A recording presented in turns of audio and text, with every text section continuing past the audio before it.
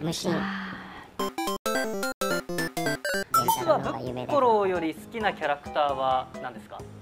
難しいですけど好きなのはちいかわとか、ちいかわってやつこの間初めて見た。本当ですか？可愛い。ちいかわってやつはこの間初めて見ました。見た何だ可愛いですよ。ちいかわって聞こえてこの人何の話してんのかなと思ってなんか見たらちいかわっていうキャラクターでしょ。ペチペチして出てきたよね。本とか今売れてて書店員でこうレジやってる時にちいかわ。あちいかわ。ちいかわってモモンガなんですでもいろいろなんかキャラクターいるのでどうなんですかね？三國シェフは知らないですけどちいかわは知ってます。三國連太郎さんは大好きです。はい。仕事の中で知った面白い本や興味深い本はありますか？木島君以外ですよ。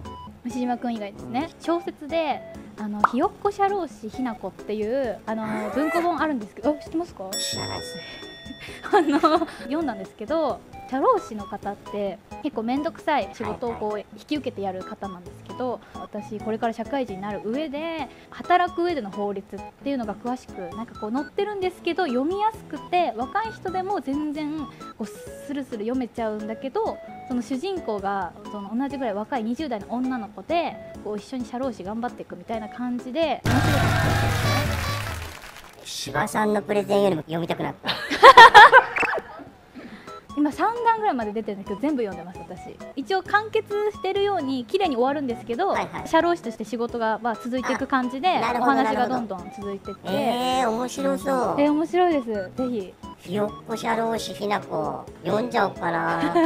どんな気持ちでレジ打ちしていましたか？無心でしたか？いや結構無心な時ももちろんありますけど今こういう本売れてるんだなとか干渉はしないんですけどやっぱ年代に結構ヒットしてるんだなみたいな印象は受けながら考えながらレジはしまあー僕レジしてたら意外だよねとか思いながらやると思うんですよ。うわその趣味あるのとかえなんでとか。50代後半の男性がはいあんあんとか買ってたらなんでとかなるじゃないですか。すねあーうーん。だからそういう楽しえならないならない。私は書店で働いていないから。遊ばないそれで。来た。来た来た。50代男性なのにあんな2冊買ってくる。怖い。みたいな心の中でやったりとかしない。あそうですか